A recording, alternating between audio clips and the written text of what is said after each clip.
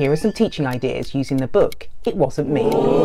It's a brilliant story for explaining why you shouldn't tell lies and the damage it could do. So you can create some flashcards like this or download them from our website, then read the story.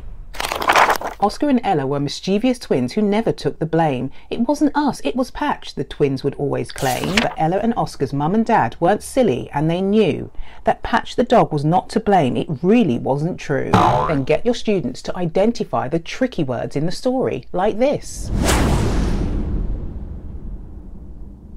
Now here's another simple activity you can get your students to do independently. So you can create a worksheet like this or download it from our website. Then see if your students can identify the word, read the word, and then use the word in a sentence like this.